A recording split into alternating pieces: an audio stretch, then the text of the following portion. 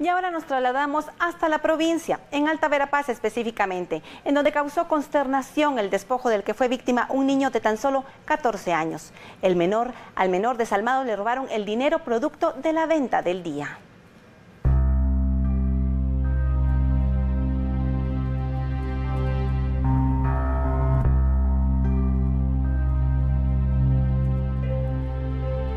Sus lágrimas mostraban la impotencia y el miedo que sentía. Un sentimiento que mezclaba la rabia de no ser más grande y poder defenderse, pero que a la vez dejaba en evidencia su inocencia. Entre sollozos solo podía pensar, ¿qué haré con la venta? Pero un ángel le respondió. Mi amor lindo, mírame, nosotras te vamos a guardar la venta, se la vamos a dar a ellas y ellos te la van a entregar cuando tú regreses. ¿Oíste? Amor, pero se lo vamos a dar al, al dueño de la venta, ¿viste?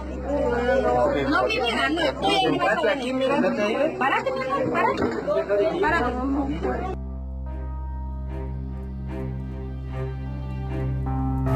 La necesidad lo obliga a buscar la forma de ganar unos centavos para ayudar a su familia vendiendo algodones de azúcar.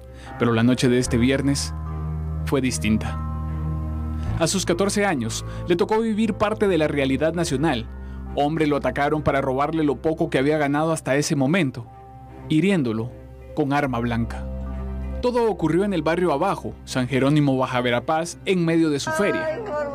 Una oportunidad de trabajo casi se convierte para este adolescente en una tragedia. Vecinos lo ayudaron y condenaron el hecho, pidiendo que se busque a los responsables.